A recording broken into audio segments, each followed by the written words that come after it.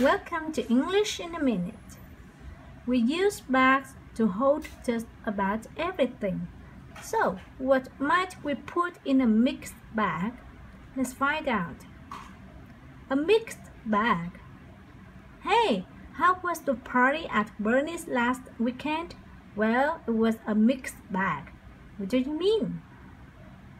The people were interesting, but the food was awful. The music was great, but it was way too loud. That does sound like a mixed bag. A mixed bag has a few meanings. It can mean a situation has a variety of things, some good and some bad. It can also describe a range of different people or things, and that's English in a minute.